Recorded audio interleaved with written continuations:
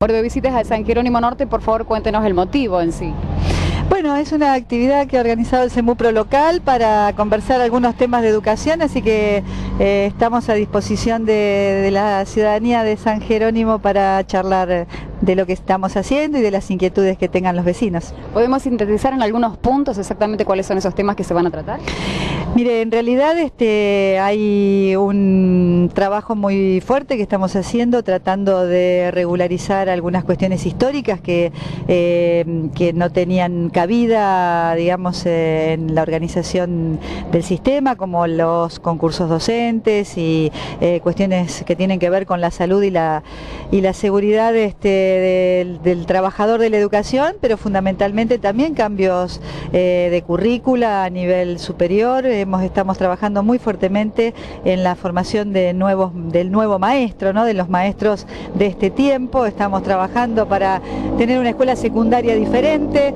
Eh, estamos convocando a los maestros de escuela primaria a escribir y a contar experiencias exitosas que puedan ser socializadas. Es decir, hay uh, una eh, intensa tarea eh, que ha comenzado ahora con el tema de educación vial, educación sexual, este, salud alimentaria, es decir, es, tanto que, bueno, cuesta resumirlo. Bueno, a nivel provincia, seguramente usted está recorriendo distintas ciudades y localidades. ¿Cómo está encontrando la educación? San Jerónimo Norte es una, una localidad bastante importante más en instituciones educativas. La gente siempre está apoyando, los profesores están preparando y las maestras también. ¿Cómo está el resto de la provincia?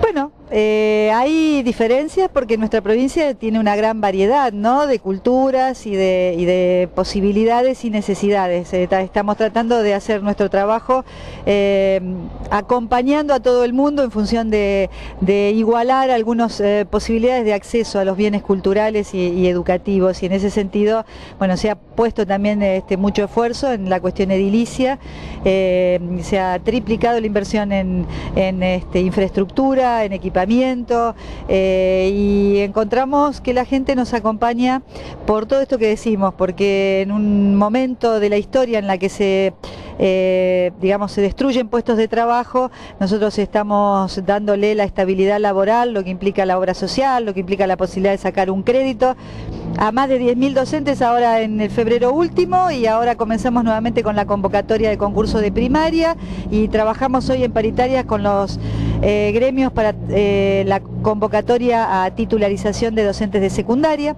También estamos mejorando los edificios, estamos capacitando en servicio, es decir, todo esto que decimos que es una vieja deuda y una gran demanda histórica del sistema educativo.